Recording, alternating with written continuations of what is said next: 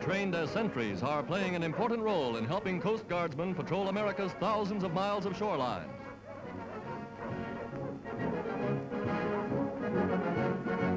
A full dress review marks the departure of the newest regiment of canine recruits assigned to active duty.